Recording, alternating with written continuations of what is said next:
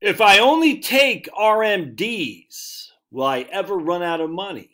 My man John just sent this uh, question to me, which I want to dive into because it's a good question.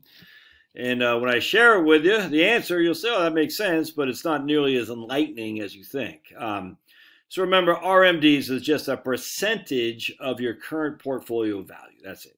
Um, and so back 70, was it 70 and a half, you had to take 20, you basically divided your account. So if you had 100,000, I can't remember off the top of my head what it is anymore. It's 26.5, I can't remember.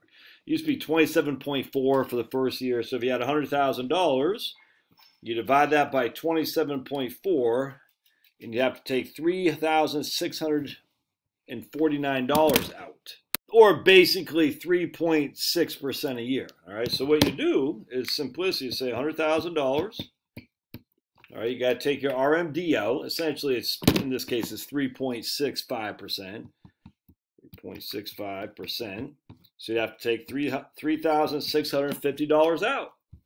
All right, so now the next year, let's say the portfolio drops to 80,000 bucks. This is after RMDs. And it would increase by 0.2% a year, roughly. So now the next year we got $80,000 in our portfolio. Now we got to take times 3.8% out. So 80,000 times 3.8% equals, we have to take 3,040 out because our portfolio dropped all right, so we only have to take 3,040 out because our portfolio dropped. So now let's fast forward 20 years and say we're sitting on $5,000. That's all we got, $5,000. And we're going to say we have to take out 15%. Can we run out? So you see where I'm going with this, right? Times 0.15. So we have to take out 15%. We got to take 750 out. All right, so now let's say we're sitting on 10 bucks. We got to take out 35%. That's all we got in there, times 35%. So I don't even need a calculator to figure that out. We got to take out uh, $3.50. See how that works?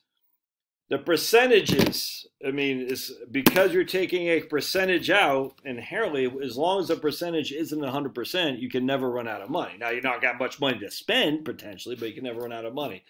Another trick of this is just to say, say you're point A, and here's point B. All right. So you are at point A. Here's your old buddy Josh at point A.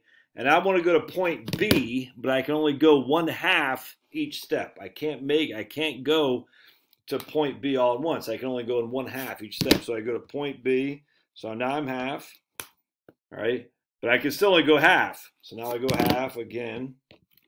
I can still only go half half again, half again. You see what I'm saying? So you can see it. You never actually reach point B. If you can only go a half, even if point B is an inch away, you can never go to point B. You're only going to go one half of an inch. You'll never quite make it. And that's kind of the same thing with RMDs. Even if you only got a buck in your account left, you're only taking a percentage of that buck. And as long as that percentage is not 100, you'll never run out of money. But again, it's silly because all right, I didn't run out of money. I'm never at zero, but I only took out 22 cents. I hope that makes sense. Anyway, good question. We'll see you.